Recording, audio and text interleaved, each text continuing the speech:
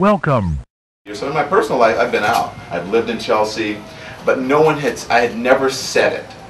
I had never talked about it in um, in a public way. I never talked about it on on the air before, and so as I was thinking about it, I realized that there was a certain deception in silence because people are always going to project onto you what they think you should be. So there are women and men and people who are watching at home are saying, "Oh, that's a guy. Now I want my daughter to marry someone like him." And I'm sure if he's not married, if he is married, he's got 2.5 kids and he drives a Volvo or an SUV. Like people are thinking that, and that's dishonest in a way because it doesn't show people that gay people or norm are normal in a sense and can be successful and can be journalists or can be CEOs or can be a bus driver, can be whomever and besides someone who's flamboyant and it's okay. I love my flamboyant friends. I have my nelly friends my queen friends or whatever but there we are multifaceted as gay people. And i thought that you know what? There needs to be someone like me. You know i can girl out and queen out in front of my friends and do whatever. But for the most part no seriously right? Right? Let's, let's, let's just be real. It's the same thing as like when you don't go to work and you don't go please at work. You know, black people do that. Am I lying? You can't be really black at work like that. You can't say the N word or whatever. And I can't be on the air like I do Resident Feel when they I'm like, uh, uh we are not. you can't do that. So I just. so I just figured, you know what, it's time to be real. So I said, you know what, I'm going to put it in there. I told the publisher, he said, be careful, you have a reputation to uphold. You work for the most powerful news organization in the world, so you got to watch. And I said, okay, all right, all right, I can take it out at any time. And so I put the manuscript together, and right as I was finishing the manuscript, Tyler Clementi jumped off the bridge, and I said, hmm, damn it, what is going on? And there have been so many Tyler Clementis. I use Tyler Clementi as a personal story, but Tyler Clementi also represents the thousands, if not millions, of young people who are dealing with their sexuality and who are being ostracized and who are being told that they're an abomination and they're going to go to hell or whatever. And I have never done anything that I know of, except maybe I broke a few hearts that's going to get me into hell. But people have broken my heart too, so you know I don't think they're going to go to hell for it. It was good for me; it made me stronger. So I and I was like, I said, why would I go to hell? Why should anybody go to hell because of who they choose to live their life with? Or who they choose to have as a partner or what they choose to be, as long as you are not doing anything that is detrimental to society and to someone else. And so I said, leave it in there. And the hardest thing about writing this whole book, quite honestly, wasn't putting it down on paper. It was hitting the send button to send to my employer so that they can have that much information about me. Because my mom said, you don't always tell everything. You don't want people to know everything about you. Well, guess what? They still don't know everything about you. You know, okay? So that's why I keep a personal phone and a business phone. So they still don't know everything about me. So, um, and I said, you know, it's okay because at a certain point, you realize you have to be an example. Not that I set out to do that. I said, you know what, I'm going to do this. And so my mom came to visit for Christmas. You remember the Christmas tree? She did. We had the blue Christmas tree. She was like, that is so ugly. I don't like that tree. Right? Am I lying? You said it was a gay Christmas tree. Is that what that? That's what I said. No, she. Well, you said that to excuse it, and she said that is and then she said she really loved it after a while. She got used to having an all blue Christmas tree. My boyfriend, who is Jewish, said that it was a Hanukkah bush.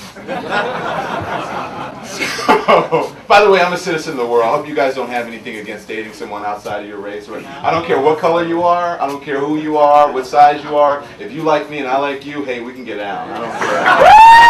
That's all I am. So I have had black boyfriends, Asian boyfriends, black girlfriends, Asian girlfriends, Hispanic. I've had every. I'm, I am like the United Nations. So, so, so uh, my mom and I, my mom came for Christmas, and we were reading the manuscript, and it was so funny. It's like, I guess it's not. We were reading about childhood, and we cried reading certain parts of the manuscript, and about um, when I when my father died and how I found out how my dad was my dad. But when my father died, we were crying about how the whole thing went down. And then we just had the biggest laugh riot moment when we remembered, and it's in the book, how my grandmother, who I didn't know, knew who my dad was. If, I don't know if you read the book. And she said it, and then we just started laughing, and she said, Baby, say it. I'm not ashamed of you. I'm so proud of you. There's nothing that you can do to embarrass me, and I'm not, I'm not embarrassed about anything that I've done. She goes, We are just like any other American family. So she said, If you're okay with it, go for it. So my mom supports me, and having said all that, I'm going to get to the end very quickly. I'm going to get to the end, wrap it up here in a second. Having said all that, I could not have done this without the support of my family, without the support of, of friends, and I couldn't have done it without the support of you guys. To be quite honest with you guys, I didn't think that I would have any support in the gay community, or not much, because I don't look like the guy on the cover of Out magazine. I'm not a muscle boy. I mean, I'm in shape. I work out with a trainer. You know, you got to keep up appearances, right? but I didn't think that, you know, I'm not the blonde-haired, blue-eyed prototype of a gay guy. And so I thought that I was, I would tell my friends who were very high-profile gay men who work for, you know, HRC and for GLAAD and all these people, I would tell them, why would it, why would anybody care? I typically go to events that are that gay events, and I'm either one or I'm a handful, or either the only African American or the only person of color in the room. And so, even in our own community, I feel that we need to address diversity and discrimination because we are not as open-minded as we think we are. So, um, I didn't think I'd have any support. So, anytime I see people, especially the gay community, I've been pleasantly surprised, overwhelmingly positively surprised. So, when I see you guys come out and I see you guys support the book, then I say thank you and amen. Thank you, Jesus. So, what I will say though, and this isn't self-serving, I hope that this book becomes a bestseller in some way, and not just for me, but because I think it's important for companies, for organizations, for corporations to realize that their diversity means a lot more than black and white, man, woman. There are there should be a diversity of voices in every single company in the world, especially in a, well, let's start here in America, and we can start here in Atlanta if you want to. But there should be a diversity of voices, and that means out and proud gay, lesbian, bisexual, and transgender people should be part of that diversity equation. And if this book sells, it shows people that there is an interest in that, right? This book is registered on Nielsen, just like the ratings for my program. And so that's how we judge whether or not people are interested in the products that we sell. So I say buy them for your friends, your uncle, your aunt, your cousin, Ray Ray, Shanae, Shaniqua, Chelsea, Barbie, Brittany, everybody. Go buy it. And just to support, not necessarily me, but support our cause, to support gay people. It's very, very important in this day and age, especially when we have things that's what's happening in New York and it's Gay Pride Month.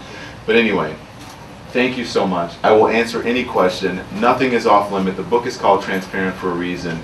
And again, give yourselves a big round of applause. And send your cards in letter. Not only to CNN, but to any organization, any company who supports out and proud. gay We've got a lot more at Don Lemon's book signing for his book Transparent.